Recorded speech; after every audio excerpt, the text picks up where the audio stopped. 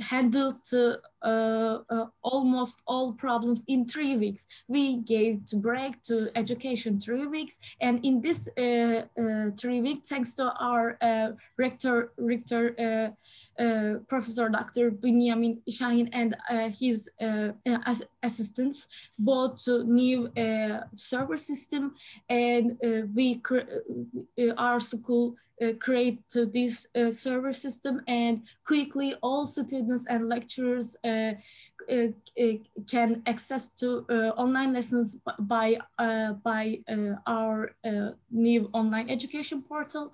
We aim to inform the students about the success criteria and we create um, rubrics to assess the examination types I would also like to share some of the events that we mm-hmm. had. Titanium. So titanium is like uh, our main sports event. It's an annual sports event that we conduct. So every year we have this event in the campus. As earlier in the video you saw, we have a big playground. We have an indoor games facility. We have recreational activities over there. But this year we couldn't. So what we did is that we came up with a new format, one of its kind, e-titanium.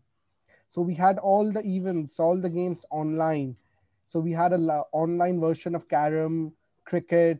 We had an online edition, treasure hunt, which is a very famous. We had a treasure hunt. We had games like Counter Strike, Clash Royals, and the, if you have to give you an engagement number, so we had around 550 games played in only 27 hours how you can uh, evaluate to uh, the student council to like workflow can you say a little bit like shortly uh, the student council so it's a body that has been selected by the management. So there are uh, different selection procedures there are different parameters the out of which one of them is your performance on different grounds like your attendance your college uh, your institute engagement that you are clarity to your vision and mission statement of student council.